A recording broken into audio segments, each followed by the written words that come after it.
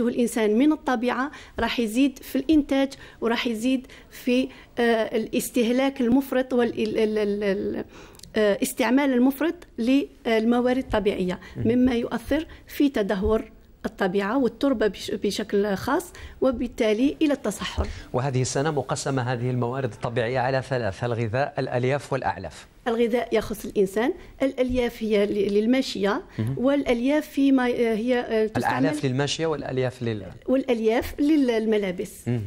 إذا هذا آه، طبعا أذكر هذا هو موضوع وهذا الشعار آه، سيترجم فعلا من خلال حتى المخططات واستراتيجيات سواء الدولية أو الوطنية لمكافحة التصحر والجفاف أيضا. صحيح. هو هو 17 جوان هو يوم آه، عالمي تحسيسي يحتفل به للتذكير فقط هو تحسيسي توعوي. وزارة الفلاحة والتنمية الريفية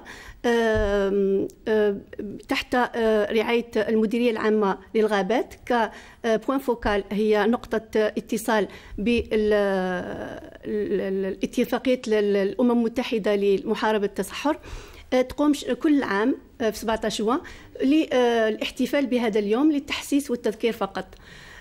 هذه السنة الاحتفال الرسمي سيكون في آه، وزارة آه، الفلاحة والتنمية الريفية تحت رئاسة وزير الفلاحة والتنمية الريفية. وبمشاركة هو يوم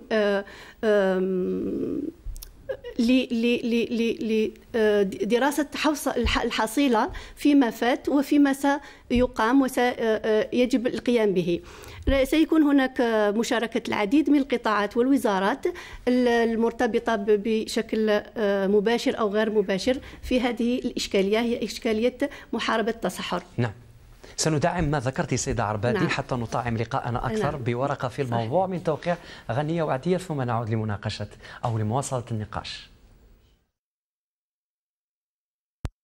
منذ التصديق على اتفاقية الأمم المتحدة حول مكافحة التصحر من طرف الجزائر العديد من برامج تهيئة المساحات المتدهورة تم إنجازها بفضل ممارسة التسيير المستدام للأراضي إضافة إلى السد الأخضر التجربة الرائدة في مكافحة التصحر التي مكنت من شق نحو 25 ألف كيلومتر من المسالك لفك العزلة وإنشاء أكثر من 12 ألف مشروع في إطار التنمية الريفية من بينها تشجيع الزراعة العائلية وتسليم الإعانات الفلاحية.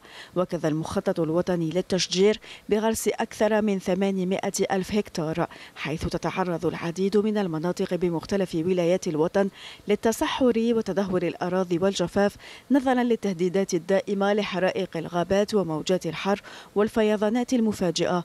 وحسب المديرية العامة للغابات فإن سنة 2030 ستشكل مرحلة هامة من أجل التوصل إلى تحييد أثر تدهور الأراضي الذي يعد من بين أهداف التنمية المستدامة بالمحافظة على الأراضي المنتجة. وتجدر الإشارة إلى أن الأمم المتحدة أعلنت عام 94 900 وألف يوما عالميا لمكافحة التصحر بهدف رفع الوعي العالمي بشأن التحديات التي تفرضها ظاهرة التصحر وتردي وضع الأراضي والجفاف.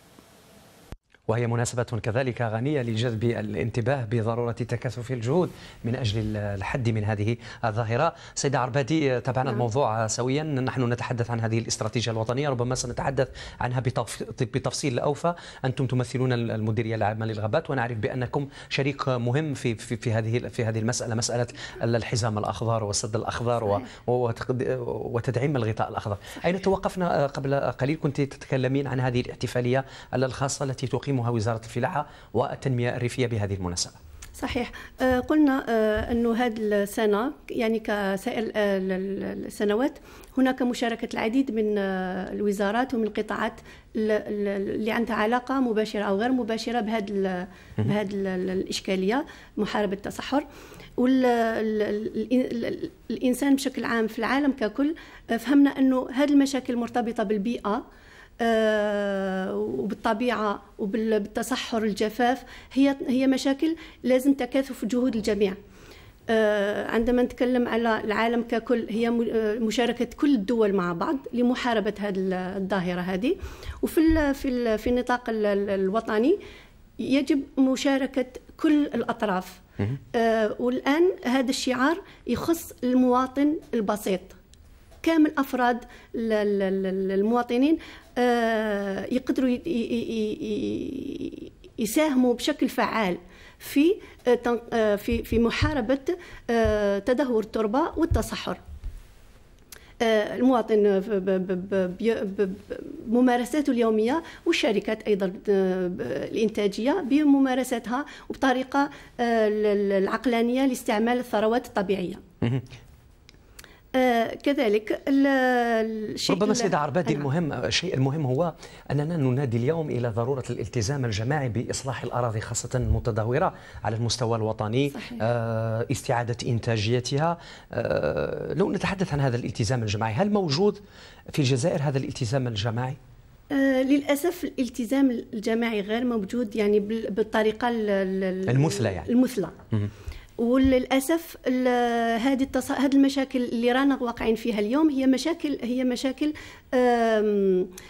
يعني ناتجة عن تغيير في سلوك الإنسان. هو الإنسان القديم جدودنا ما كانوش يتعاملوا مع الطبيعة بالطريقة هذه. معناتها الآن بعد هذا التطور العلمي والتطور الصناعي عاودنا رجعنا ل آه، النصائح اللي رانا نقولوا فيها هي لازم نرجعوا للأصل ونرجعوا للممارسات اللي كانوا جدودنا يستعملوها. في إما في الاستهلاك تاعنا إما في التعامل مع الطبيعة إما في التعامل مع الأرض إما في التعامل مع الحيوانات يعني هي الثروة الحيوانية والنباتية. كيف ذلك؟ اولا آه، لمحاربة آه، تدهور التربة والتصحر لا بد من التشجير. بكل أنواعه لحماية التربة. الإنسان في في حي تاعو في في المنزل تاعو. اذا كان عنده مساحة من الأرض لازم يشجر فيها. اذا كان عنده مساحة في المحيط تاعو في في الجوار لابد التشجير. إذا كان عندهم مساحات خضراء في, في الأحياء ولا في المدينة لابد التعاون والتشجير بطبيعة الحال تجديد الثروة الغابية يعني. نعم. في في المساحات الخضراء وفي في الغابات وفي حتى يعني في الحقيقة حتى في آه، جدنا بكري كانوا يستعملوا المزهريات وليبو في النباتات. إذا كان عندك نبتة في البيت أنت تقدر تستعمل الماء مثلا. هذه هذه حاجات بسيطة لكنها مهمة لمحاربة مؤثرة هذه يعني. مؤثرة نعم مؤثرة بشكل كبير. لما نغسل الفاكهة والخضر هذاك الماء غير مضر بالنباتات. يعني يا حبذا نسقوا به النباتات اللي عندنا في في البيت وفي المحيط يعني في الحومة. أحسن من لأننا نرميه في المجاري المائية. هذه راح نساهم بشكل كبير وما يقدرش يتخيل الإنسان آه، المساهمة في في هذه النقطة بالذات في حماية الطبيعة وفي حماية الأرض وحماية التصحر ونحن نشجع دائما الساكنة كذلك على الاستقرار أنا أقصد يعني في بعض المناطق الريفية مثلا يجب أن نعم. نعمل على تحسين الوسائل المعيشية للسكان ولا للمواطنين من أجل صحيح. الاستقرار لأن هذا الاستقرار هو أيضا استقرار ينادي إلى استقرار في المجال البيئي وفي مجال مكافحة صحيح. التصحر والجفاف صحيح وهي آه، أولوية اليوم؟ أولوية أولوية كبيرة. ومن بين البرامج اللي تقوم بها المديرية العامة للغابات هي ما تنسوش أنه آه، إحنا 80% من الغابات تاعنا هي غابات آهلة بالسكان. مستحيل المديرية العامة للغابات توضع آه، برنامج لحماية الغابات دون أن يكون الإنسان مأخوذ بعين الاعتبار ودون أنه يؤخذ بعين الاعتبار. ليس في أنه نقدموا له آه، يعني آه، خدمات بالعكس لازم يكون المشارك هو أيضا في في تنمية هذه هذه المناطق وفي التنمية المستدامة يا حبذا. هذه التنمية المستدامة اللي رانا نحوسوا عليها اليوم كيف ذلك؟ الإنسان يكون عايش في منطقة غابية أو سهبية أو صحراوية حتى لازم يعيش في تناغم مع الطبيعة. يأخذ ما يحتاج بعقلانية ولازم يخمم كيفاش يفكر كيفاش يكون آه، عنده سلوك وعنده آه، يعني ممارسة يعني ممارسة يومية اللي تحافظ على البيئة تاعو وتحافظ على أصلا هي مصادر للرزق نتاعنا. المديريه العامه للغابات في كل هذه المناطق عبر آه، طبعا 48 آه، محافظة للغابات آه، تقوم بمشاريع ويكون الإنسان دائما مدخول يعني داخل فيها ماخوذ بعين الاعتبار عبر مشاريع صغيرة تربية النحل تربية غرس الاعشاب الطبية واستعمالها غرس الأشجار المثمرة اللي تحمل الجفاف. أنت تتحدثين عن السد الأخضر ودوره في تثبيت الأهالي وخلق الثورة. هذا ما سينقله أيضا هذا الموضوع الذي نقترحه عليك وعلى كل المشاهدين من إمضاء ابتسام بجاوي. تسير الجزائر قدما عازمة على مكافحة التصحر وخلق الثروة. وقد أعادت صياغة المشروع الوطني الضخم بما يتناسب والتحديات الآنية للألفية الثالثة. سرنا على هذا الطريق والتقينا رجالا كلفوا بإنجازه ومتابعته بولاية خنشلة ذات المناخ الجاف الحار. سألناهم عن محاور السد الأخضر بهذه الولاية السهبية الجبلية فكان جوابهم إعادة تأهيل السد الأسد السد الأخضر بعمليات مهمة ومعتبرة على مساحة 14 ألف هكتار. ثم يأتي المحور الثاني هو محور توسيع السد الأخضر على مساحة 8000 هكتار. ثم تأتي المحور الأخير آه، اللي هو محور توسيع المناطق السهبية الرعوية الفلاحية. وهذا بمساحة أكثر من 114 ألف هكتار. فيه إضافة قوية وهو إدماج آه، دماج آه، السكان. في تسيير ثروات طبيعية. ثم ذهبنا إلى تبردقة الفلاحية السياحية حيث تم غرس أكثر من 300 هكتار من نبات التين الشوكي في إطار مشروع السد الأخضر وكذا آلاف أشجار الزيتون. بعدها وصلنا إلى قلب السد الأخضر بهذه المنطقة الوعرة بقلوع تراب بلدية خيران حيث لاحظنا وجود أشجار مثمرة كثيرة على ضفاف وادي العرب. لأنه تعتبر من أكبر المساحة من أكبر مساحة السد الأخضر هنا. ولذلك فهي تعتبر منطقة ذات قطب فلاحي بامتياز. أين نسجل تطوير جميع الأصناف الأشجار المثمرة على مستوى على مستوى ضفاف آه، واد العرب. وهذا نظرا لوجود الموارد المائية بالإضافة إلى ذلك وجود أسر منتجة مما ساهم على استقرار المنطقة وتطوير المنطقة. وتستحق التشجيع خاصة المؤسسات الصغيرة من أجل تثمين كل الموارد الطبيعية الموجودة هنا. السد الأخضر لم يبقى سدا لإيقاف تقدم رمال الصحراء إلى الشمال بل أصبح محورا أساسيا لخلق الثروة وتنويع اقتصاد بلد يمتد على مساحة أكثر من مليوني كيلومتر مربع. وامتداده الشاسع والواسع أضحى آه، آه، يعني حمل لهذا السد هذه المكانة المكانة الريادية في التصدي للتصحر. قدمنا طبعا العينة من خنشلة وسنقدمها الآن أيضا. أنت معنا سيدة عربادي نعم. سننتقل عبر هذا الاتصال الهاتفي إلى الجلفة إلى ولاية الجلفة ويحضر معنا عبر هذا الاتصال الهاتفي سيد آه، محمد دومي محافظ الغابات بولاية الجلفة. سيد دومي صباح الخير مرحبا. صباح الخير سيدي الكريم. أهلا وسهلا. سيد أهلا وسهلا شكرا للاستضافه مرحبا. السيدة عربادي هي مديرة مكتب بالمديرية العامة للغابات تتحدث عن هذه الاستراتيجية وعن هذا المخطط الوطني. آه، من منظور ولاية الجلفة نعرف بأنها منطقة آه، طبعا هي بوابة الصحراء. هي آه، كيف هو هذا المخطط ميدانيا سيد دومي؟ شكرا سيدي الكريم. المخطط الميداني تم إعداده وإعداد استراتيجية هذا التدخل طبقا لإشكالية التصحر آه نعم. نسمعك سيد دومي تفضل. آه طبقا آه تم وضع مخطط مكافحه التصحر آه, طبقا لاستراتيجيه آه خاصة آه على نطاق واسع طبقا لإشكالية آه التصحر الإشكالية التصحر بالنسبة للولايه آه نجد أن ولايه الجلفه مساحه شاسعة آه، على آه، تمتد على مساحه سنين 32256 كيلومتر مربع بينما نجد أن الثروة الغابية تمتد على آه، مساحه 210000 هكتار بنسبة 6.5% بالمئة من مساحه الولاية.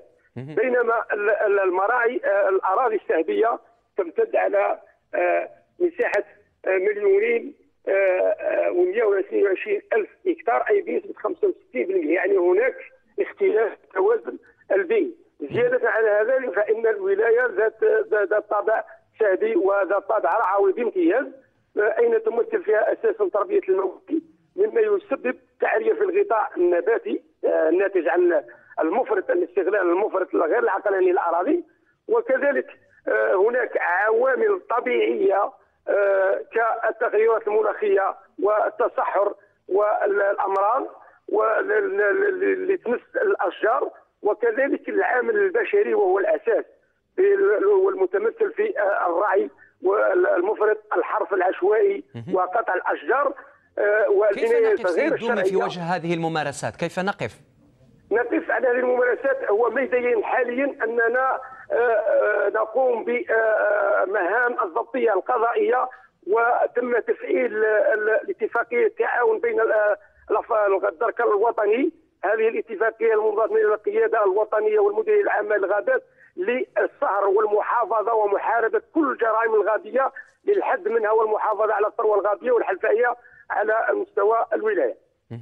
نحن نعمل أه؟ يعني الآن سويا نحن نعمل على تكثيف الجهود من أجل تثبيت الأهالي من خلال التنمية المحلية يعني أقصد مثلا شق الطرقات وإيصال الضروريات للمواطن للاستقرار لأنه جزء مهم جدا وعلامة إضافية في مجال الحفاظ على هذا الغطاء النباتي الذي يكافح التصحر والجفاف.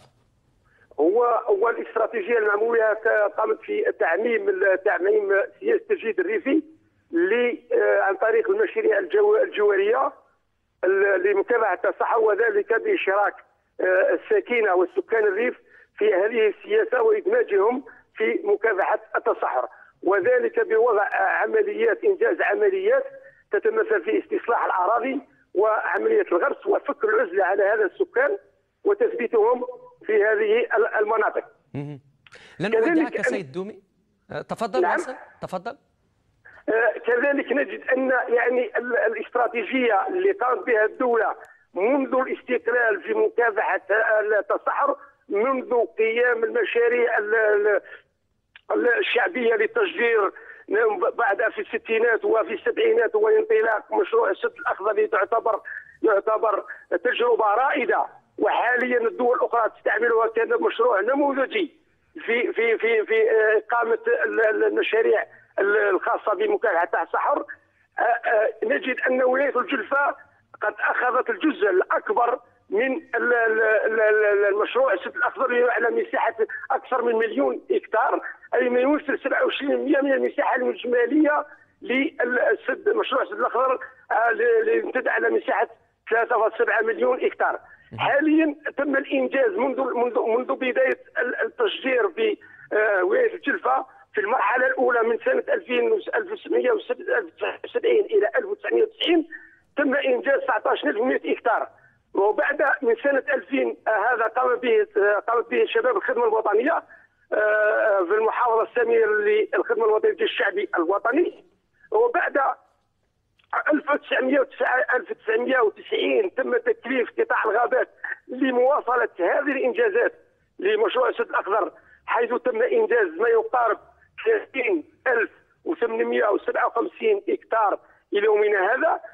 هذا كله كان مدعم البرامج الأخرى برامج أشغال الكبرى آه، برنامج تجديد الريفي وكذلك المخطط الوطني للتشجير وكلها برامج وكلها برامج تنخرط في هذا البرنامج العام المركزي المبذول والموقع من أجل الحد من التصحر والجفاف. سيد محمد دومي محافظ الغابات بولاية الجلفة شكرا جزيلا لك. كنت معنا من خلال هذا الاتصال الهاتفي آه، قبل أن أذهب إلى ولاية عامة كذلك سنقدم تجربة في مجال التصحر الذي يهدد الحياة البيئية هناك. آه، ولاية الجلفة وغيرها يعني من ولايات السهوب عندها ميزة خاصة يعني بالمقارنة نعم. بأنها هي الحد الفاصل ربما بيننا وبين ما آه، يمكن أن نحققه يعني للبيئة في مجال الحفاظ عليها من التصحر والجفاف. صحيح هي هي أيضا مناطق صعيب التعامل معها لأنها مناطق فيها يعني ذات طابع رعوي فلاحي وهي مناطق جافة وشبه صحراوية. يعني الحفاظ على البيئة فيها صعيب كتير. آه، تكلمنا على السد الأخضر ويمكن وعندما نتكلم عن السد الأخضر نتكلم على هو انشئ 1970 71 آه، آه، الجلفة هي الولاية منطقة مجبرة هي هي المنطقة الأولى وين انطلقت فيها الأشغال في في هذاك الوقت.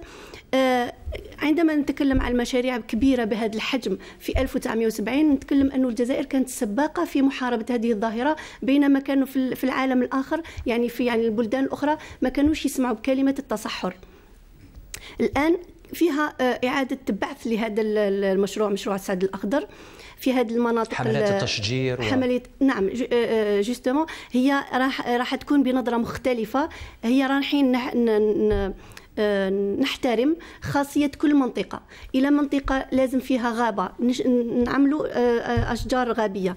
إلى كانت منطقة رعوية راح نشجروا ب نقوم بعملية يعني غرس لنباتات رعوية ليستفاد منها الفلاح. لأنه قلنا من البداية مستحيل نعملوا تنمية مستدامة دون أن نأخذ بعين الاعتبار يعني الحياة اليومية للمواطن. نحن نأخذ بعين الاعتبار أن مصطلح التصحر والجفاف أنهما من أكبر التحديات البيئية. قدمنا الجلفة سنقدم الآن ولاية نعامة التي يهددها الحياة البيئية التي يهددها التصحر. الروبورتاج لعبد الوهاب حديبي. التهبية بولاية نعامة. فهي ظاهرة لا تؤثر فقط على الحياة البيئية وإنما أيضا على الحياة الاجتماعية للسكان حيث يضطر الكثير منهم للهجرة نحو المدن للبحث عن حياة أفضل. الولايه تاع النعامه هذه فيها حوالي 3 ملايين هكتار والمساحة حوالي 70% من هذه المساحة معرضة لظاهرة التصحر وهي يعني آه، حساسة وحساسة جدا لظاهرة التصحر. من الأسباب الأساسية تاع تاع ظاهرة التصحر على مستوى ولايه النعامه هو الجفاف قلة التساقط تاع الأمطار وكذلك المشكل تاع الإنسان الراعي والحرث العشوائي هذا. في غياب الوعي وثقافة التشجير عند المواطن تسعى المحافظة السامية لتطوير السهوب بولاية نعامة إلى تبني مخطط استراتيجي لمحاربة التصحر وحماية البيئة والثروة الحيوانية.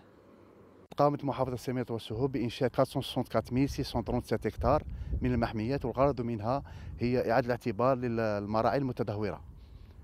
وذلك آه، من أجل توفير العلف والكلاء للموالين المنطقة. والمنع كلي للحرث العشوائي لأنه السبب الرئيسي للتصحر. زيادة على المشروع الكبير لإعادة تأهيل نتاع السد, السد الأخضر بنظرة جديدة لأن النظرة الجديدة هي مس نمس كل كل المناطق وكل الأراضي مهما كانت الطبيعة القانونية نتاعها وبالرغم من الجهود المبذولة للحد من ظاهرة التصحر إلا أن صراع الأخيرة مع الطبيعة والإنسان يتواصل بتواصل زحف الرمال.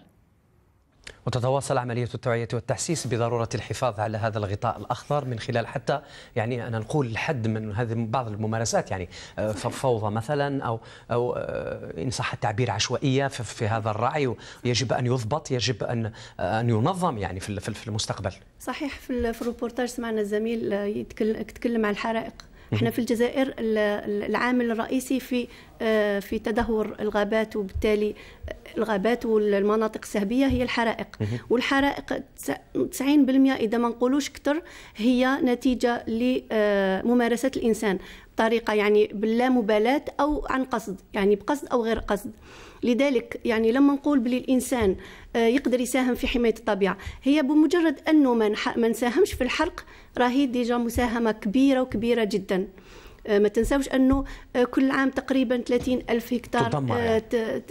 تدمر أو ت يعني حتى اذا ما تدمرتش ب 100% راح يكون آه، نسبة النجاح تاعها في المستقبل راح يكون قليل وراح يؤدي إن إنه رجال الغابات يعني أوليو باش نخدموا في مناطق أخرى نزيدوا نشجروا فيها نعاودوا نرمموا المناطق اللي كانت محروقة يعني الجهود تاع رجال الغابات والرجال المختصين في هذا الميدان راح تقل يعني هناك حتى نوعا ما تكثيف في الرقابة على على الغابات يعني آه، تكثيف في في كثير من في كثير من الولايات هناك آه، جهود مشتركة بين آه، الدرك الوطني الغابات مع الدرك الوطني يقوموا بدوريات لمراقبة هذه الغابات.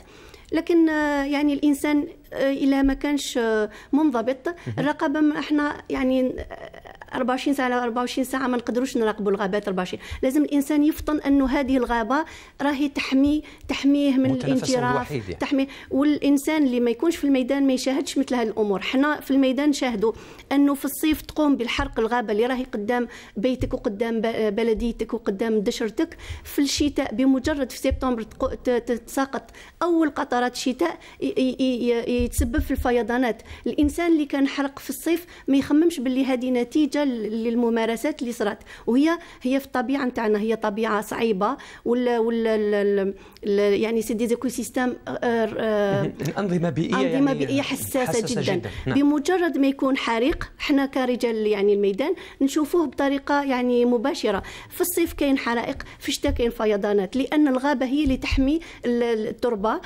وهي تعمل كاسفنجه هي اللي تمتص الأمطار الغزيرة وما تخليهاش دير هذيك الفيضانات تمشي يعني في السطحي سطحيا ودير انجرافات ودير فيضانات. معناتها هي ممارسات الإنسان اليومية اللي لازم تكون فيها عقلانيه وتكون تكون, تكون تعايش وتناغم مع الطبيعة. ونحن نعتبر المواطن شريكا مهما في التسيير المستدام يعني للأراضي ورعايه هو الاهم هو أهم شريك. هي في الحقيقة هو أهم شريك. آه بدون من هم الشركاء الآخرين يعني؟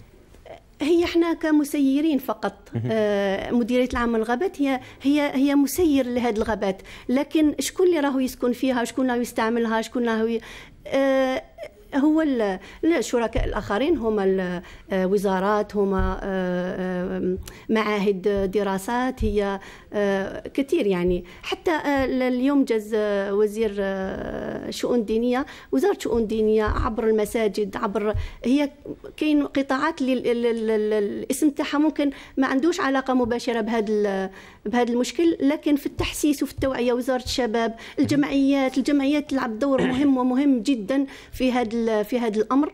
والإنسان لازم وعندما أتكلم عن المواطن هو أنا هو أنت هو لأنه بعض الأحيان كنقولوا المواطن يحسوها بطريقة يعني آه، راكو تحصلوا فينا نو هي أنا أختي خويا آه، جاري الكل الكل معني إحنا الكل مع... معني. نعم. شكرا جزيلا والكل. معني والكل مدعو طبعا لتعزيز هذا الوعي العام آه، للحفاظ على للحفاظ على الأراضي والحد بينها وبين تدهورها وجذب الانتباه في نفس الوقت لأن المناسبة هي مناسبة عالمية ليست وطنية وتترجم من خلال هذا المجهود المكثف الذي تقوم به المديرية العامة للغابات ويقوم بها كما ذكرت كل الشركاء بما فيهم المواطن. شكرا جزيلا سيدة عربادي آه، رتيبة رئيس مكتب بمديرية العامة للغابات حضورك في البرنامج. الحديث إذا كان عن محور الاحتفاء والاحتفال باليوم العالمي لمكافحة التصحر والجفاف. أذكر بموضوع هذه السنة الغذاء الأعلاف والألياف. التاسعة صباحا موجز لأهم الأخبار ثم نعود إلى منبر برنامج هذا الصباح.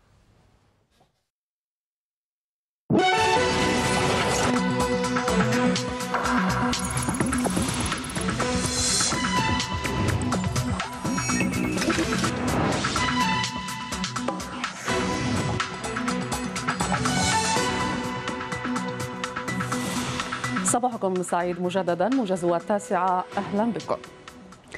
بعث أمس الوزير الأول عبد العزيز جراد تعليمتان إلى أعضاء الحكومة والسلطات المعنية. تتضمن تدابير تكميلية بعنوان المرحلة الثانية من خريطة الطريق للخروج التدريجي من الحجر واستئناف بعض الأنشطة التجارية والاقتصادية والاجتماعية. حيث أوضح فيها أن كل التدابير المعتمدة التي دخلت حيز التنفيذ ابتداء من الرابع عشر جوان تمتد لفترة مدتها 15 يوما. وفيما يتعلق بالعطلة الاستثنائية المدفوعة الأجر في القطاع الاقتصادي فقد ذكرت التعليم إلغاء الإجراء الخاص بوضع 50% من مستخدمي القطاع العمومي والخاص في عطلة استثنائية مدفوعة الأجر بالنسبة للمؤسسات التي يمكنها ضمان نقل مستخدميها واستيفاء شروط الحماية الصحية الخاصة بنشاطها. على أن يظل هذا الإجراء مطبقا لفائدة النساء الحوامل واللواتي يتكفلن بتربية أطفال تقل أعمارهن عن 14 سنة. شارك المجلس الشعبي الوطني أمس في اجتماع برلماني مرئي عن بعد نظمته الشبكة البرلمانية للبنك الدولي وصندوق النقد الدولي حول استجابة هذه المؤسسات المالية العالمية للطوارئ الاقتصادية الناجمة عن جائحة كورونا حسب ما أفاد به بيان للمجلس. يتم رسميا وابتداء من يوم السابع عشر جوان تعميم ونشر نظام البث التلفزي الرقمي الأرضي TNT من خلال المؤسسة العمومية للبث الإذاعي والتلفزي الجزائري. وبالتالي إيقاف البث التلفزي التماثلي وبداية العملية ستشمل خمس ولايات وهي تبازا تبسا مستغانم وهران وعنابة. وهذا وفاء لالتزامات الجزائر تجاه الاتحاد الدولي للاتصالات. أعلنت أمس المجموعة الإقليمية للدرك الوطني بالجزائر العاصمة أنه تم تحديد هوية السائق الفار الذي تسبب في مناورات خطيرة على الطريقي السريع الغربي الرابط بين الجزائر وتيبازا بعدما وضعت وحدات الدرك الوطني بالعاصمة خطة الإنذار والبحث مما مكنها مباشرة من توقيفه بعد ذلك في ظرف جد وجيز. وأضاف نفذ المصدر أن مصالح الدرك فتحت تحقيقا حول الحادث مطمئنة أن الضحية في صحة جيدة. وفي مستجدات الوضع الصحي ببلادنا سجلت أمس 116 إصابة جديدة مؤكدة بفيروس كورونا ليرتفع العدد الإجمالي إلى 11147 حالة مؤكدة. في حين يزداد عدد المتماثلين للشفاء يوما بعد يوم حيث بلغ 7842 حالة. من بينهم 107 حالات تماثلت للشفاء خلال ال 24 ساعة الماضية. هذا فيما سجلت أمس 11 حالة وفاة ليصل بذلك العدد الإجمالي إلى 788 حالة وفاة رحمهم الله. بمناسبة الاحتفال بيوم الطفل الإفريقي المصادف للسادس عشر جوان من كل سنة نظمت الكشافة الإسلامية الجزائرية حفلا كرمت فيه عددا من الأطفال الذين شاركوا في مسابقات لإنجاز أعمال إبداعية شملت رسومات وفيديوهات حول مكافحة فيروس كوفيد 19 تحت عنوان الوباء لا يهزمنا وهذا بحضور القائد العام للكشافة الإسلامية الجزائرية وممثلة صندوق الأمم المتحدة للطفولة والمديرة العامة للشباب والرياضة. دوليا وفي موضوع انتشار وباء كورونا في العالم سجلت الهند أثقل حصيلة لضحايا الفيروس القاتل أمس حيث تم إحصاء ألفي وفاة وهذا في الوقت الذي تشهد فيه الصين عودة للوباء ضمن ما يعتقد أنه موجة ثانية له. وأمام هذا الوضع قررت السلطات منع الدخول والخروج من وإلى العاصمة بكين وغلق المدارس. كما أقدمت على إلغاء نحو ألف رحلة جوية. وفي السياق ذاته تعقد اليوم ببكين قمة صينية إفريقية للتضامن في مجال مكافحة كوفيد 19 في الولايات المتحدة الأمريكية وأمام توسع رقعة الاحتجاجات المناهضة للشرطة والعنصرية في البلاد وقع الرئيس دونالد ترامب أمس على مرسوم يتضمن تعديلا في طريقة عمل جهاز الشرطة. ويتضمن المرسوم منع الشرطة من استخدام أسلوب الخنق عند الشروع في عملية الاعتقال إلا في الحالات التي تهدد حياة أعوان الشرطة كما يتضمن إصلاحا جزئيا يخص تنظيم وتسيير الجهاز. نهاية الموجز تحياتي تحيات الفريق العامل معي أطيب المنى.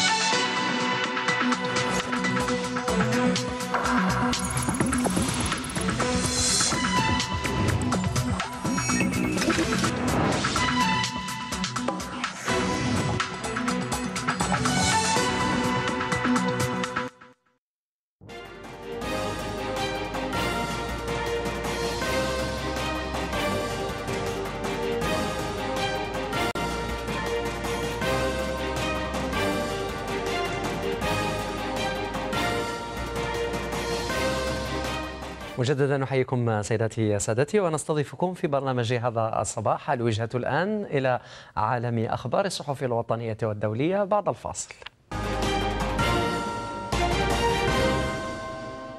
الأخبار اليوم تقدمها ماجدة. صباح الخير ماجدة مرحبا. أهلا وسهلا. صباح النور محمد. إليك. شكرا لك. مشاهدينا أسعد الله صباحكم. إليكم أبرز عناوين الصحف الوطنية والدولية الصادرة اليوم. أهلا بكم. نستهل جولتنا من عميد الصحف الوطنية جريدة الشعب التي كتبت على صدر صفحتها الأولى مقالا بعنوان المواطن شريك فعال في التنمية. حيث يولي رئيس الجمهورية السيد عبد المجيد تبون اهتماما شخصيا لملف مناطق الظل نظرا لما يحمله من انشغالات تنموية جادة وقف عليها ولاة الجمهورية من خلال خلال لقائهم بالحكومة عبر شريط وثائقي مفصل يظهر مآلات عينات من الوضعية المعيشية في الجزائر العميقة. المزيد من التفاصيل في الصفحة الثالثة.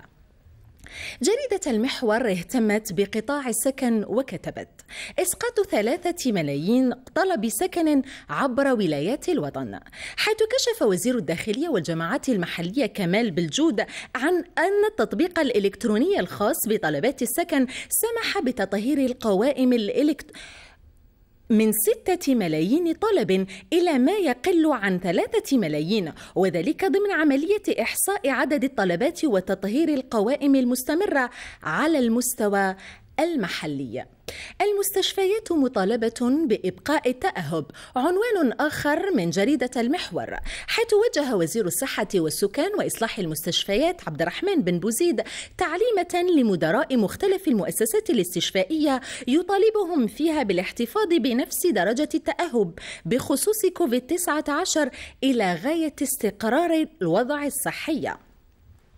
ننتقل إلى جريدة النصر التي كتبت العدالة تتلقى الشكاوي والعرائض إلكترونيا حيث أعلن وزير العدل حافظ الأختام بالقاسم زغماطي عن إطلاق نظام النيابة الإلكترونية على مستوى نيابة الجمهورية والنيابة العامة. سيدخل الخدمة في ظرف شهر ونصف بهدف السماح للمواطن بتقديم الشكاوي أو العرائض أمام النيابة إلكترونيا. وزير العدل كشف أيضا عن مساعي لتعميم إجراء المحاكمة المرئية عن بعد من خلال تعديل تشريعي يسقط شرط الموافقة المسبقة للمتهم. المزيد من التفاصيل في الصفحة الثانية. بالرغم من النتائج الإيجابية التي حققتها الجزائر في مواجهة جائحة كورونا إلا أن اللجنة الوزارية للفتوى تؤكد أن الظروف الحالية لا تسمح بفتح المساجد. عنوان من جريدة المشوار السياسية. وأضاف المقال أن الظروف الحالية لا تسمح بفتح المساجد وإقامة صلاة الجماعة لا سيما وأنها تستقبل أعدادا كبيرة من الناس استنادا إلى التقارير الصادرة عن لجنة الصحة العمومية التي منعت عقد كل أنواع التجمعات في أماكن مغلقة. إلى جريدة لا جونس دالجيري الناطقة باللغة الفرنسية التي اهتمت بقطاع التربية وكتبت وزارة التربية تعلن عن استئناف عملية تصحيح حيث أعلنت وزارة التربية الوطنية عن استئناف عملية التصحيح للامتحانات المهنية للترقية يوم الثالث والعشرين جوان الجارية بعد أن تم تأجيلها تطبيقا للتدابير الوقائية والاحترازية من تفشي وباء كورونا. المزيد من التفاصيل في الصفحة الخامسة. ضمن تنشيط حركة البحث العلمي وإثراء مساهمة الجامعة الجزائرية كتبت جريدة أخبار اليوم مقالا بعنوان تصنيع جهاز للتعقيم والتطهير بالأشعة فوق البنفسجية. حيث نجح أساتذة وطلبة بجامعة حسيبة بن بوعلي بشلف في تصنيع جهاز لتعقيم وتطهير الأشياء والوسائل بما فيها الورق والقماش بالأشعة فوق البنفسجية دون تعريضها للتلف مبادرة من شأنها المساهمة في الحد من آثار أزمة كورونا حاليا وتطويرها مستقبلا لتتماشى مع متطلبات القطاعات الاقتصادية والإدارية. المزيد من التفاصيل حول المقال تجدونها في الصفحة الخامسة. نعرج على جريدة الأخ... على جريدة أخبار اليوم دائما التي نشرت الشرطة تواصل التحسيس تجسيدا للمخطط الاتصالي الجواري المسطر الخاص بالخروج التدريجي من الحجر تقوم مصالح الأمن بمختلف ولايات الوطن على غرار على غرار ولاية تندوف بتنظيم خرجات ميدانية تحسيسية توعوية لفائدة المواطنين وأصحاب الأنشطة التجارية والخدماتية المستفيدين من رفع الحجر في المرحلة الثانية الثانية ولفائدة أصحاب النقل الحضري وسيارات الأجرة. نقرأ على الصفحة السادسة من يومية الشروق اليومي مقالا بعنوان الإعلان عن مشروع الطريق الرابط بين زيرالدا والمدينة الجديدة سيدي عبد الله حيث أعلن الوالي المنتدب للدائرة الإدارية زيرالدا بالعاصمة عن تنصيب الورشة المكلفة بأشغال مشروع الطريق الجديد الرابط بين زيرالدا والمدينة الجديدة سيدي عبد الله المزمع انطلاقه الأسبوع القادم مشروع من شأنه تخفيف الاختناق المروري في المنطقة وقدرت ميزانيته ميزانية إنتاجه سبعة ملايير ومئتي مليون سنتيم. إلى الصحف الدولية الآن والبداية من صحيفة الشرق الأوسط التي عنونت. اختراق كبير الكشف عن دواء يمكنه إنقاذ حياة مرضى كورونا حيث أظهرت نتائج اختبارات أن دواء متوفرا على نطاق واسع يسمى ديك ديكساميتازون يمكنه إنقاذ حياة ثلث الحالات الشديدة الخطورة. فبعد أن أجرى باحثون بريطانيون من جامعة أكسفورد تجربة على ألفي مريض وجدوا أن هذا الدواء من شأنه التقليل من خطر الوفاة إلى نحو 40 من المئة. وزير الصحة البريطاني من جهته أكد أن بلاده ستبدأ فورا بوصف دواء ديكتاميثازون لعلاج مرضى كوفيد 19 إلى جريدة الرأي الأردنية التي نشرت تدوير المخلفات لجعلها تحفا فنية. ففي ظل الحجر الصحي يلجأ بعض الشباب إلى الابتكار والنهوض بأفكار بسيطة وتحويلها إلى مشاريع يترجم من خلالها إبداعه في معرض لتحويل النفايات إلى تحف فنية بأشكال جميلة صديقة للبيئة. مشاهدينا نختم أخبارنا لنهار اليوم بهذا المشروع الذي يهدف لتعليم الناس بأن النفايات ليست جميعها للرمي وإنما يمكن تحويلها إلى فن. شكرا لكم على طيب المتابعة وعودة إليك محمد لمتابعة فقرات هذا البرنامج. شكرا جزيلا لك ماجدة. تحويلها إلى إبداعات حتى والحجر الصحي وفترة التقيد به. أنا أقول الحجر المنزلي يعني البقاء في البيت آه، مكننا من التعرف على العديد من البصمات والأنامل التي أبدعت في في مجال الرسكلة وفي مجال التدوير بالفعل. في مجال التدوير. نبقى دائما في آه، قطاع الأخبار ونطاق الأخبار الوجهة الآن ستكون عالمية. السلطات الصينية تعتبر تفشي الوباء في بكين خطيرا جدا بعد تسجيل أكثر من 100 إصابة جديدة. التقرير لفهد يحيى.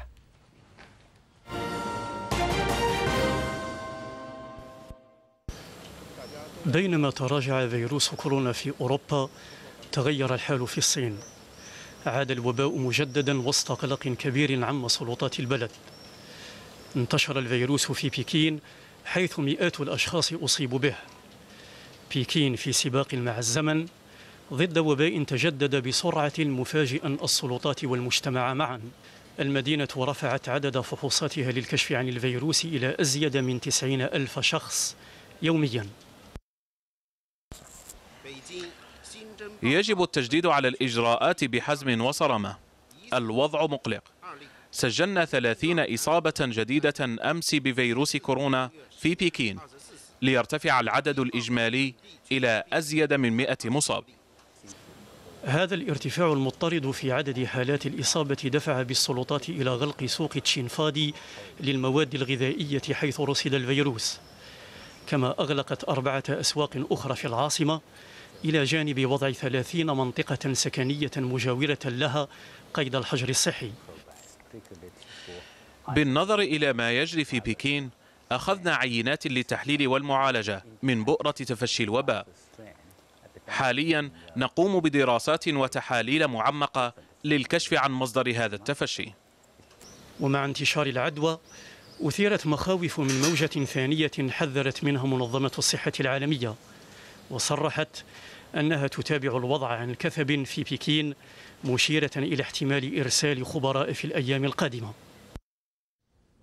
ونتابع نحن كإعلاميين وكصحفيين آه، بحذر هذه الوقائع وحتى آه، من باب ربما التذكير بأهمية الالتزام بكل هذه الاحتياطات الصحية التي آه، مفروضة اليوم بحكم أن لربما ستكون لهذا المرض ولهذا الوباء الموجة الثانية. ونتمنى الصحة والسلامة للجميع. بعد الفاصل ضيف الصباح.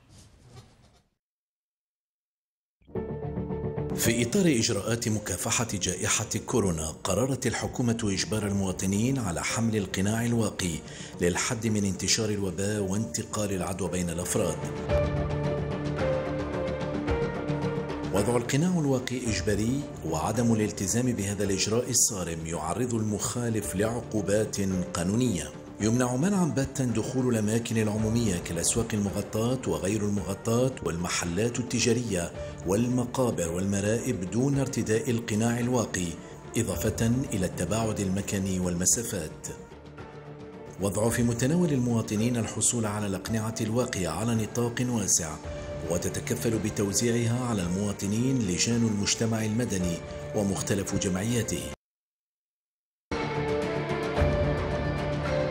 الحكومة لها الثقة المطلقة في استجابة المواطنين ووعيهم وتضامنهم في هذه المرحلة من التعبئة الشعبية للتصدي لوباء كورونا.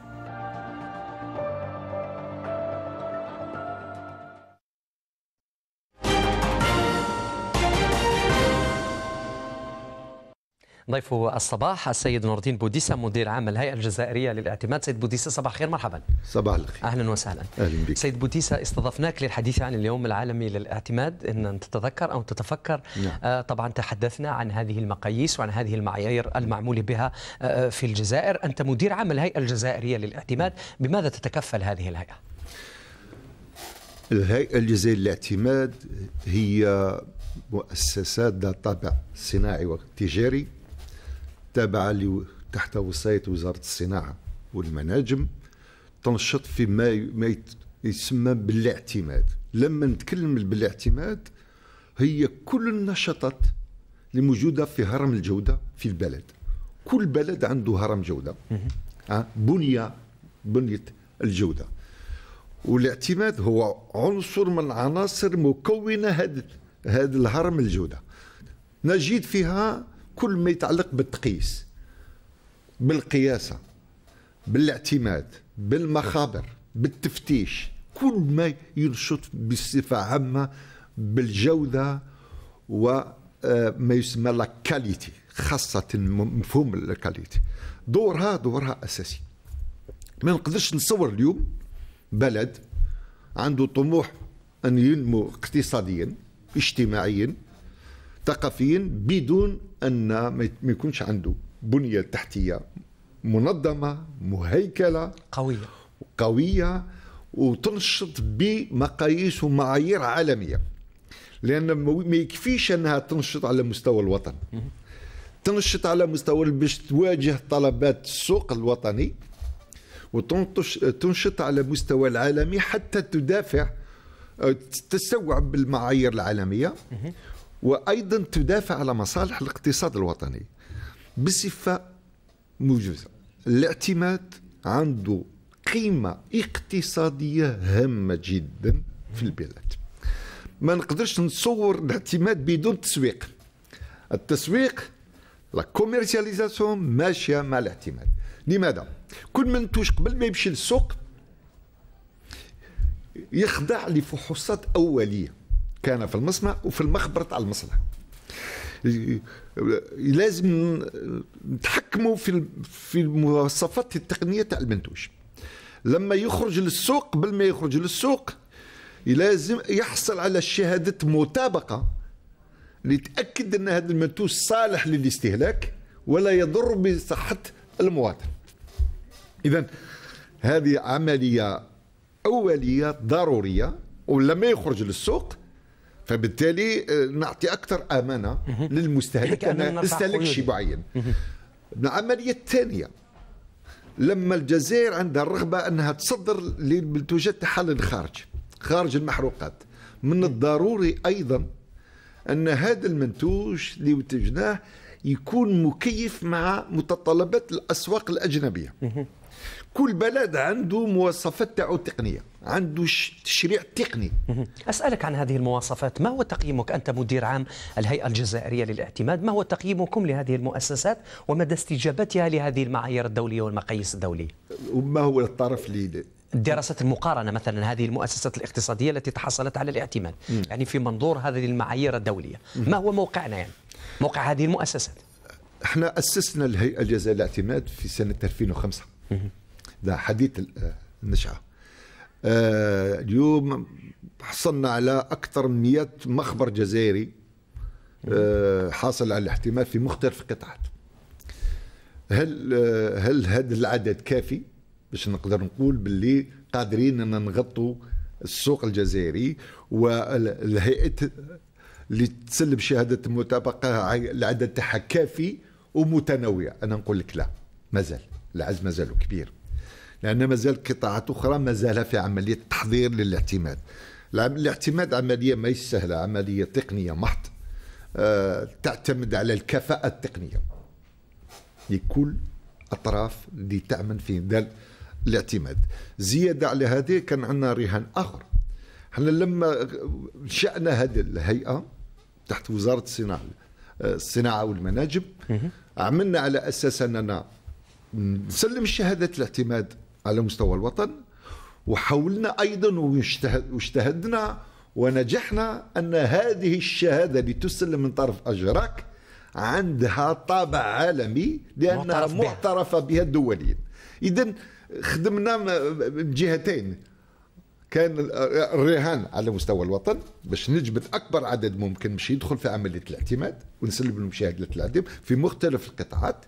وأيضا أننا نخلي الشهادة والعلامة الجزائرية على المستوى العالمي تكون معترفة بالطبع مع المنظمات العالمية وزبائن الجزائر اللي ترغب انها تحصل على المنتوج الجزائري، المنتوج الجزائري اليوم إذا كان يريد أنه يمشي للأسواق الأجنبية في إطار السياسة الجديدة ويتنافس وينافس. وينافس المنتوجات الأخرى لازم يكون في مواصفات تقنية تمشي مع متطلب السوق اللي رانا حبينا نمشوا ليه. كان في أوروبا كان في أمريكا كان في إفريقيا أو البلدان العربية. العالم اليوم منظم مهيكل والمعايير هو العنصر. المشترك بين كل هذه القطب في العالم علينا أننا نجتهد ونعمل على هذا الأساس. سيد بوديسا كيف تمكنا في وقت وجيز وقياسي من أن نتبوأ آه، منزلة الريادة وفي مجال منح الاعتماد؟ أنت ذكرت الآن هذا الاعتماد الذي نمنحه وطنيا معترف به دوليا. هو شوف آه، مش ممكن أن النظام الوطني للاعتماد يقدر يفرض نفسه في السوق الوطني ويروح ينافس الأسواق الأجنبية عن طريق المنتوج الجزائري. يقول لك هذا هذا رهان استراتيجي مش اتفقوا مليح. ما تقدرش تفرض على الشيء إذا كان ما راكش ما فيكش مواصفات ككل الهيئات الاعتماد الأخرى في العالم. لازم تدخل في العالم هذا وتحاول كيفاش تكون عندك مكانة. وزيادة على هذا لما تكون عندك مكانة تكون أجدر أنك تدافع على مصالح الاقتصاد الجزائري وخاصة تدافع على المنتوج الجزائري باش تكون عنده مكانة في السوق الأجنبية.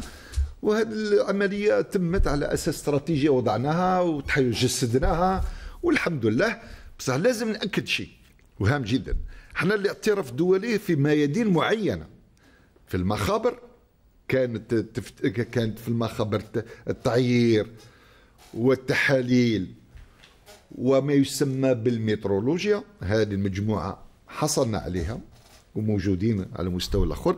وأيضا أيضا عندنا الجانب ما يتعلق بالتفتيش. لما نقول بالتفتيش والمراقبة وش هي؟ يتعلق بالبناء يتعلق بالسيارة يتعلق بالطائرة. كل الباخرة كل ما يمكن أنه يفتش ونتأكد على صلاحية هذا هذا الجهاز. يخضع للتفتيش أيضا عندنا اعتراف دولي. لما نجمع هذو القطبين يمثلوا 60% من نشاط الهيئة الجزائرية للاعتماد. يبقى ضرب دخلنا في المرحلة التالية. حددنا استراتيجيه أننا نحصل على الاعتماد في ميادين أخرى. الميدان ميدان شهادة المطابقة المنتوج ما يسمى la certification produit إحنا الجزائر اليوم بأن في بداية الطريق لازم كل كل منتوج جزائري كان على مستوى الوطني أو يروح للخارج يحصل على شهادة المنتوج la certification de produit هذا ضروري وهذا معيار عالمي. ولازم نخدموا على متطلب هذا المعيار العالمي. والزبائن اللي يتقدموا ل ALGERAC لازم يخضعوا لمواصفات ومتطلبات هذا المعيار العالمي. هذا 65 17 65 عندنا أيضا طلب كبير. من بعض القطاعات المحروقات يريد أن يحصل على شهادة الاعتماد في ميدان ما يسمى شهادة المطابقة للشخص للأشخاص la certification des personnes هذا أيضا معيار عالمي 17 24 رانا نوضعوا فيه. أيضا أيضا كنتوا كنتوا تتكلموا على جانب القطاع الصحي.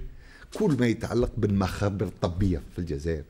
هذا المعيار يسموه 15000 واحد 15 واحد و89 هذا معيار عالمي رانا نعملوا فيه وبدينا نسلموا شهادة الاعتماد العدد موش بالعدد اللي في المخابر الأخرى في القطاعات الأخرى وإنما بدينا في المعنى البحر لما يكون عندنا رصيد لاباس به راح طلب رسمي للمنظمات العالمية حتى نقيم جيل جيل سيد نور الدين سيدي نور الدين بوديسا وصل شكرا جزيلا لك أنت مدير عام الهيئة الجزائرية للاعتماد التكيف آه، طبعا آه، مع المقاييس المعمول بها عالميا في مراقبة سلامة المنتوج المستورد والمصدر. كان محور نقاشنا معك. متواصلون معكم مزارنا في التالي في برنامج هذا الصباح جولة في عالم التكنولوجيا في الإمضاء حمزة عبان.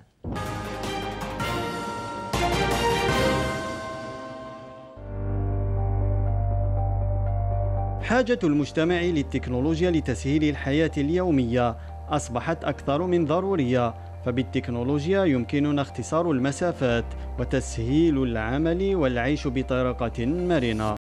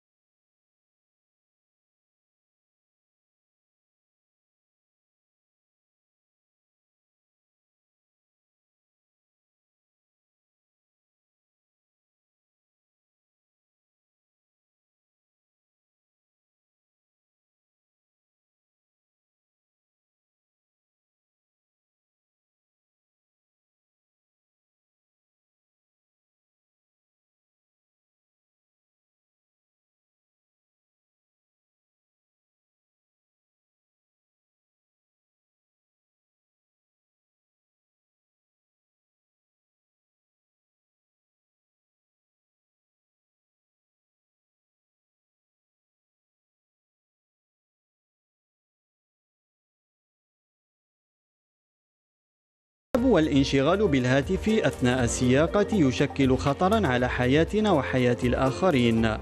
هذه الآلة الصغيرة تسمح بالكشف عن التعب أو انشغال السائق بأشياء أخرى. الانشغال بإرسال الرسائل النصية أو مشاهدة الفيديوهات أثناء السياقة لا يسمح لك بالتركيز أثناء القيادة. فعند القيام بذلك الحساسات الموجودة في هذه الآلة تستشعر كل ما يحصل داخل السيارة ويمكنها إنقاذ حياتك في لحظة. التلوث البيئي مضر بصحتنا خاصة بالنسبة للجهاز التنفسي. فنحن معرضون بخطر الإصابة بأمراض الرب وسرطان الرئة. هذا القناع الذكي المتطور هو الحل في وسط هذا التلوث فهو يسمح بالقضاء على كل أنواع البكتيريا والفيروسات خاصة مع انتشار فيروس كورونا الخطير. هذا القناع أيضا يحمينا من العدوى وهو مصنوع بمواد صديقة للبيئة. ونحن نشجع كل ما هو صديق للبيئة. المحور التالي آه النظارات الشمسية والطبية كيف يوفق المستهلك بين الصحة والجمال؟ بعد الفاصل خدمة عمومية.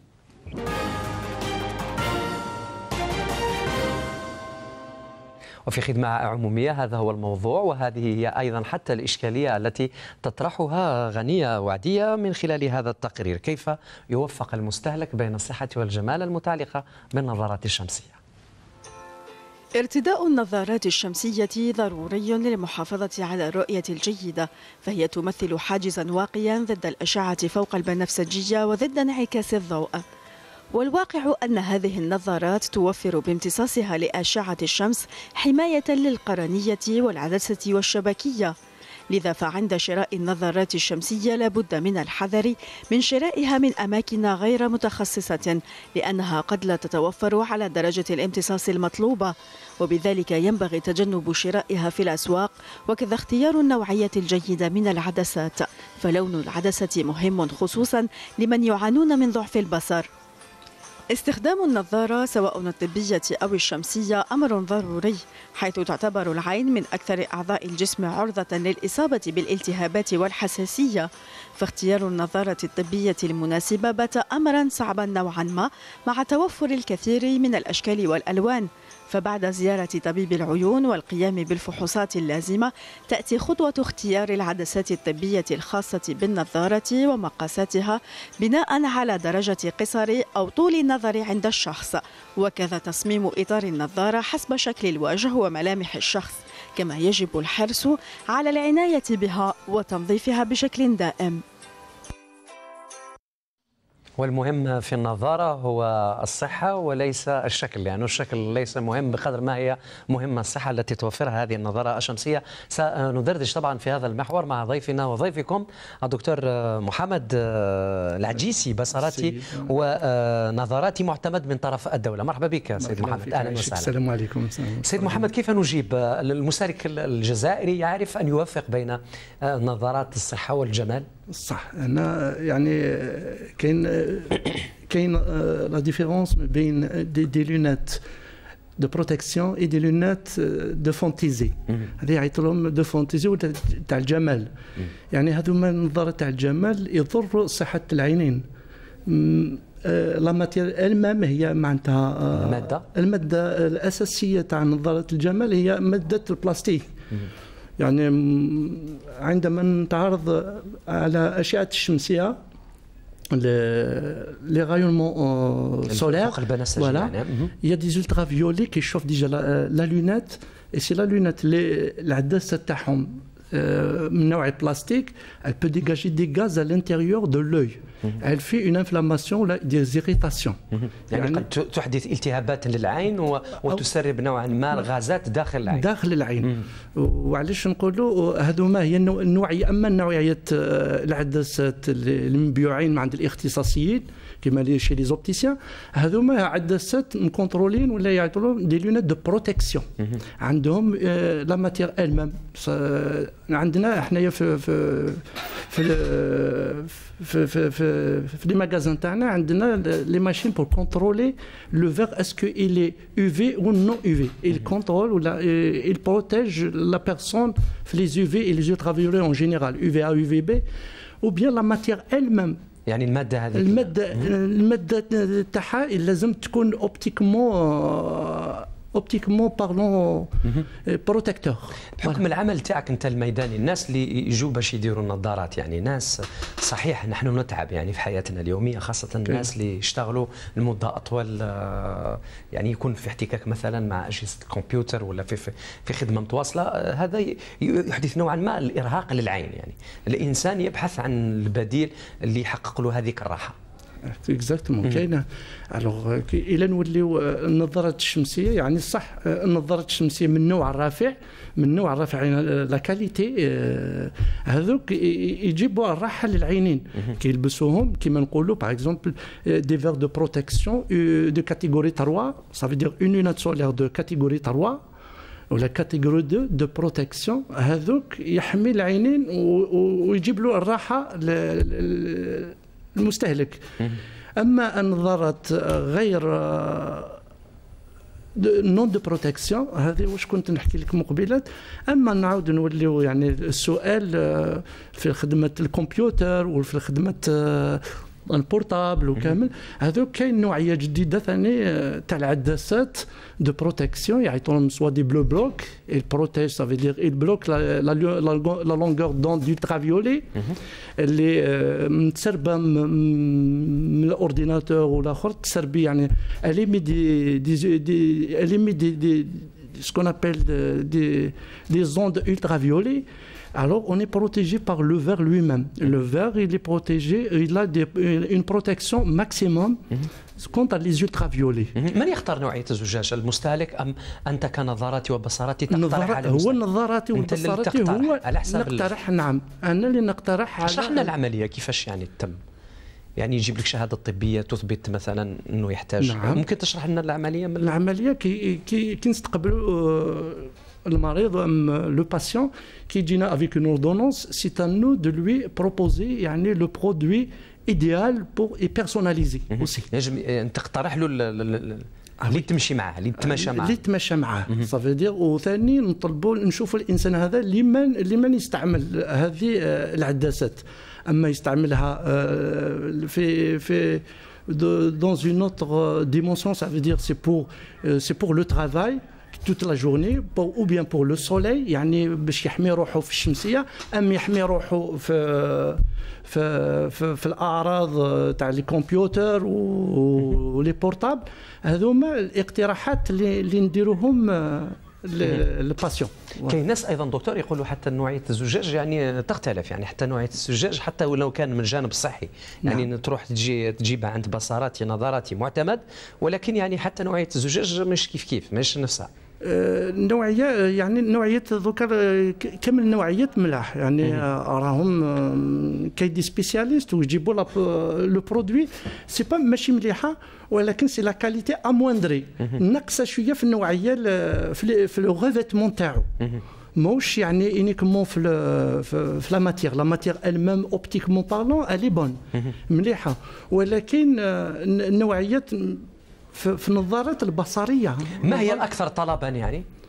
طلبا يعني الإنسان c'est l'opticien lui-même qui qui propose le produit y a des produits meilleurs y a des produits amoindris ça veut dire amoindris يعني أنت اللي تقترح على الزبون ديالك ولا على المستهلك؟ أنا اللي نقترح على الزبون.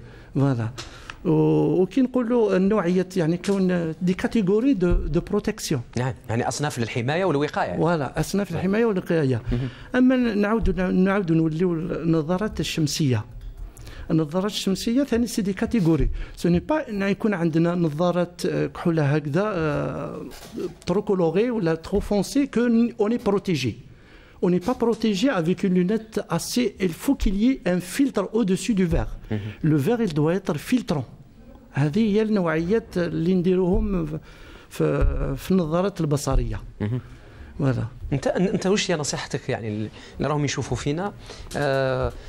إحنا ربما هي نصيحة نصيحة نقدمها من من باب الاستهلاك. كاين ناس مثلا آه، دون قصد عن عدم وعي. مثلا آه، يشتري يعني المعارضة الآن والتي تباع يعني في في الأسواق في الخارج مثلا يعني في الشوارع ولا في الأرصفة.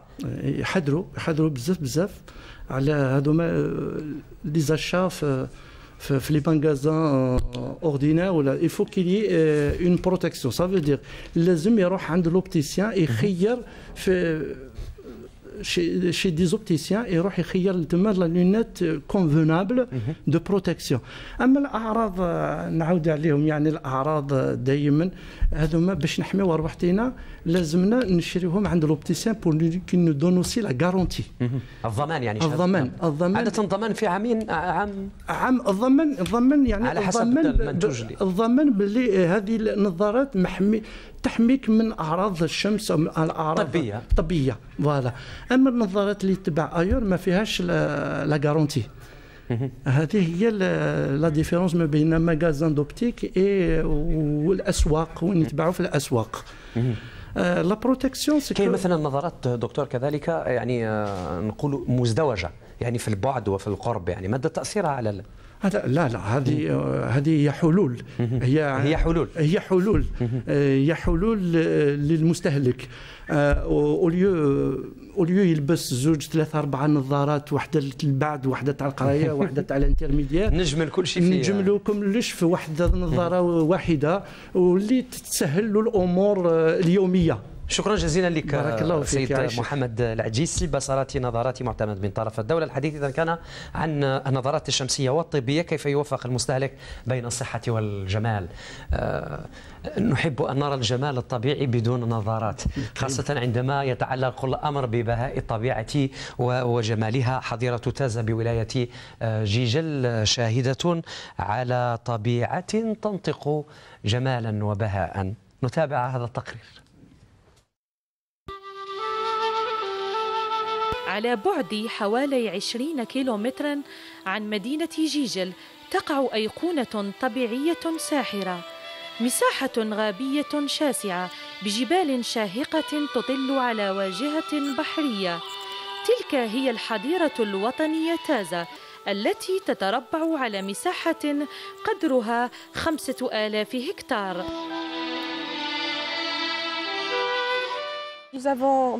لدينا اختلاف في المادة البيولوجية التي تعطي التنوع المنظري في المنطقة بالإضافة إلى تنوع الحيوانات البرية. من بين المناظر التي نراها هنا المناطق الرطبة والساحلية. خصائص طبيعية. أهلت تازا لتصنف كمحمية حيوية عالمية من قبل منظمة اليونسكو عام 2004 شريط ساحلي بشواطئ صخرية ورملية زاد المنطقة جمالا مما جعلها وجهة سياحية بامتياز. نعود إليكم من جديد. يبدو أن ليلى حلت بالبلاطو وأحضرت معها الجميع. ليلى تحية لك. صباح الخير. مرحبا. شكرا محمد صباح الخير لك ولمشاهدينا الكرام. أكيد بعد الفاصل أم قبل الفاصل؟ لا لا مباشرة بدون فاصل. شكرا. حتى لا ناخذ من وقت المفكر الرياضي. فعلا. كالعادة محمد أخبار رياضية مختلفة متنوعة تحضر ضمن هذا الصباح وأكيد البداية ستكون بكل ما هو محلي للتعرف عن قرب أو عن كثب ما يجري في رياضتها الجزائرية حيث أعلن الاتحاد الجزائري لكرة القدم اليوم أو أمس عفوا أن إعداد البروتوكول الصحي اللازم هذا قصد العودة رسميا للنشاط الكروي المتوقف بسبب جائحة كورونا. أو تحدث الاتحاد الجزائري وأكد أنه أن أو انتهى من إعداد البروتوكول الصحي وتم تسليمه إلى وزارة الشباب والرياضة التي طلبت من كل الاتحادات الرياضية الاستفادة من هذا البروتوكول وهذا تمهيدا لاستئناف النشاط الرياضي كما أضاف الاتحاد في بيانه أنه سيتم الكشف عن مضمون أو مضمون هذه الوثيقة بعد الموافقة عليها رسميا من قبل الجهات المختصة. من جهة أخرى عقد أيضا رئيس الاتحاد الجزائري لكرة القدم خير الدين زطشي عقد اجتماعا بمقر الفاف وهذا قصد وضع اللمسات الأخيرة على مشروع الاتفاقية الثلاثية النادي والشركة الرياضية ذات أسهم وأيضا مكتب المحاسبة. وهذا تمهيدا لتطبيق البروتوكول الصحي وأيضا البروتوكول الذي اتفقت عليه الاتحادية الجزائرية في النظام الجديد لنظام المنافسة. من جهة أخرى وفي ذات السياق ومع الفافي دائما وجه الاتحاد الجزائري لكرة القدم وجه تحذيرا صارما للاعبين وذلك في إطار الحرب التي يأخذها ضد المنشطات وظاهرة استعمال المنشطات في كرة القدم المحلية. جمال دامرجي رئيس اللجنة المحلية والطبية بالاتحاد الجزائري نشر بيانا على الموقع الرسمي للفاف تضمن أيضا تحذيرا صريحا اللهجة لكل اللاعبين الجزائريين المحليين فيما يخص تناول المنشطات وتم أيضا التشديد على عدم وجود أي تسامح مع اللاعبين الذين سيثبت تورطهم في هذا الأمر. إلى أخبار محترفين والبداية باللاعب الدولي آه، المحترف في البطولة السعودية وجدة السعودي يوسف بليلي حيث آه، تم تحديد مبلغ 4 مليون فاصل 5 دولار لتسريح اللاعب الدولي الجزائري وحسب آه، الاتحاد السعودي الصادر اليوم. وأيضا الجرائد أقول فإن الجناح الجزائري بات مطلوبا من عدة نوادي وقد يضطر النادي لبيعه خاصة في ظل الصعوبات التي خلفها فيروس كورونا وأيضا قصد التأقلم مع ناديه الذي سيمضي له مع بداية الموسم الجديد. ذات الأخبار ونواصل الحديث عن أخبار المحترفين الجزائريين. هذه المرة في مختلف الدوليات الأوروبية ماذا يفعلون هناك؟ سنتعرف عن ذلك مع كريم أيتثمان المفاوضات بين الإدارة واللاعبين من أجل إقناعهم بتخفيض أجورهم بعد الاجتماع السابق الذي وصف بالفشل.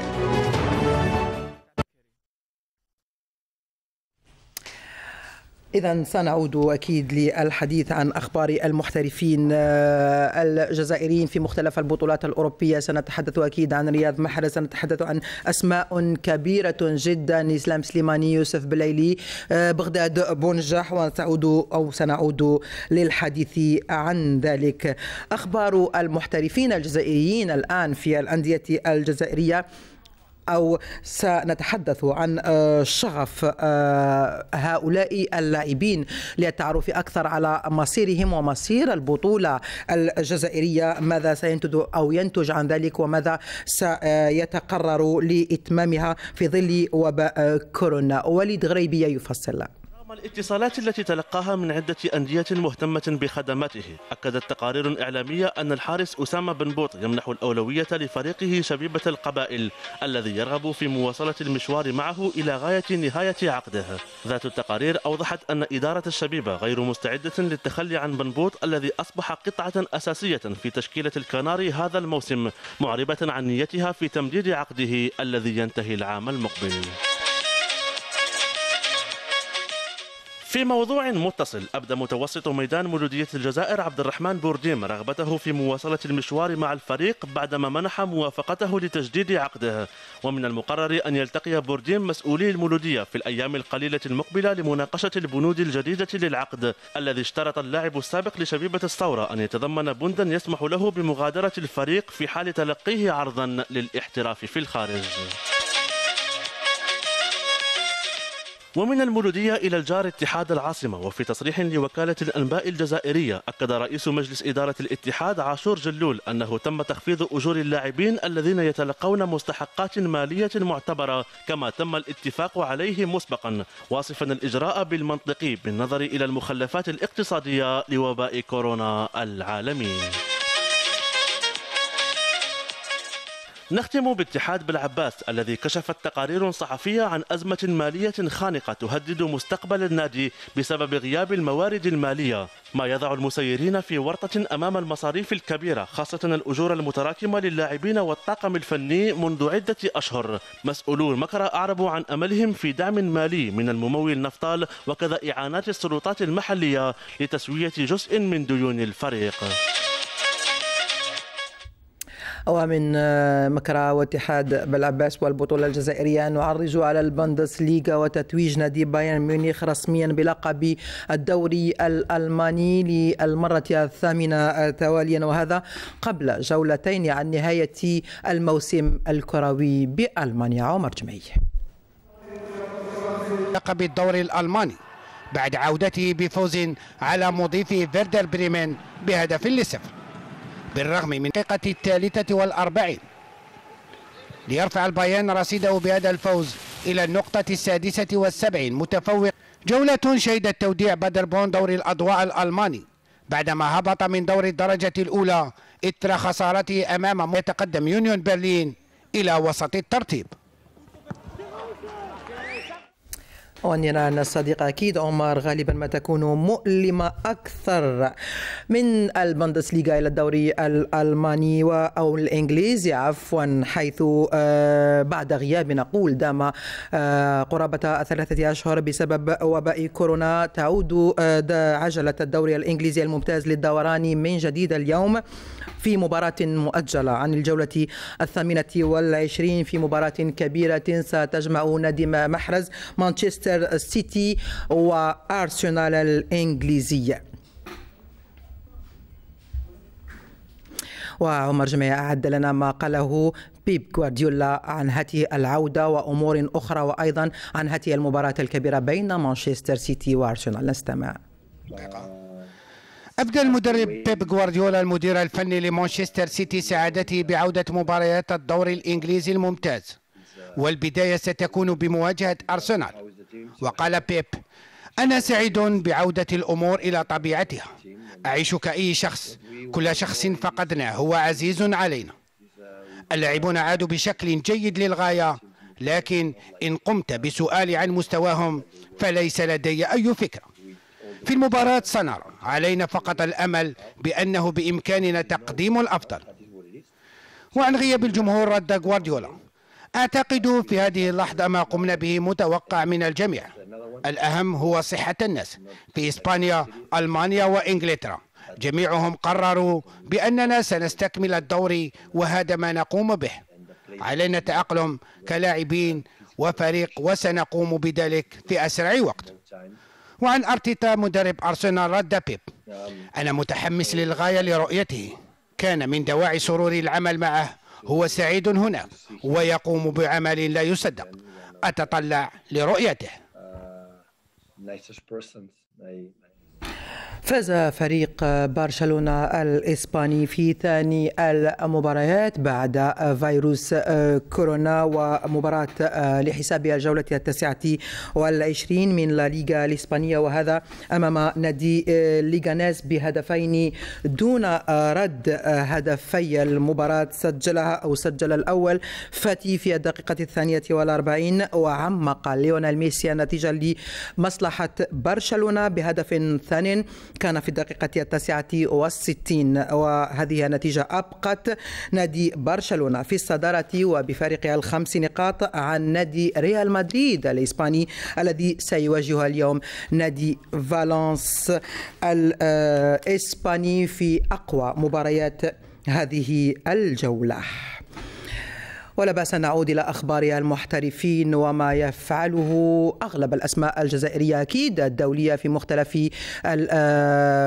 الدوريات الأوروبية يفصل فيها. كريم أيتاثمان جديد العناصر الوطني المحترفة يبقى منقسم بين من استأنف المنافسة ومن ينتظر ومن يباشر التدريبات. في حين لا زالت أخبار العروض تجلب الاهتمام خاصة تلك المتعلقة بنجم بلوانس إسماعيل بن ناصر. وفي آخر أخبار الصحافة الإيطالية حديث عن دخول أرسنال الإنجليزي لسباق الظفر بخدماته وبالأحرى استرجاعه لأنه سبق وأن لعب في صفوفه ما بين عامي 2015 و 2017 في سن أقل من 21 سنة وأقل من 23 سنة.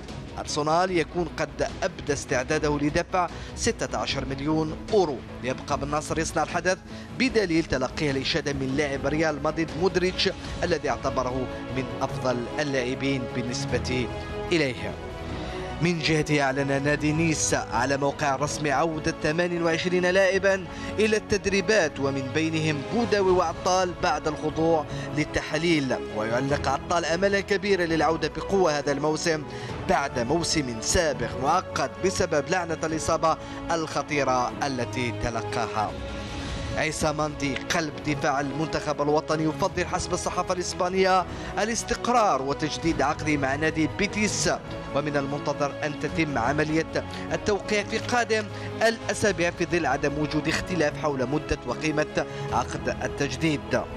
آخر خبر بحوزتنا يتعلق برغبة نادي ليل الفرنسي التعاقد مع آدم أوناس حسب ما كشف عنه موقع فوت ميركاتو. للإشارة فإن لاعب الخضر عاد إلى ناديه الأصلي نابولي بعد تجربة غير ناجحة مع نادي نيس الفرنسي على شكل إعارة.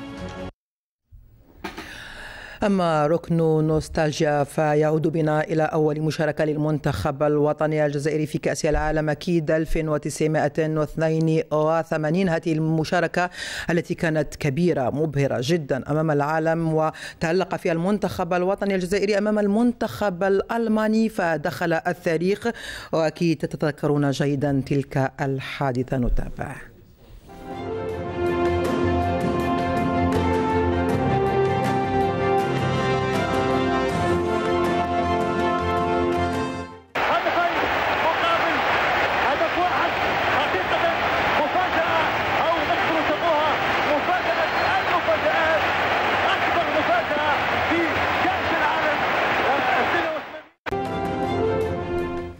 والله نفس الشعور بالفخر دائما كلما شاهدنا هذه المباراة.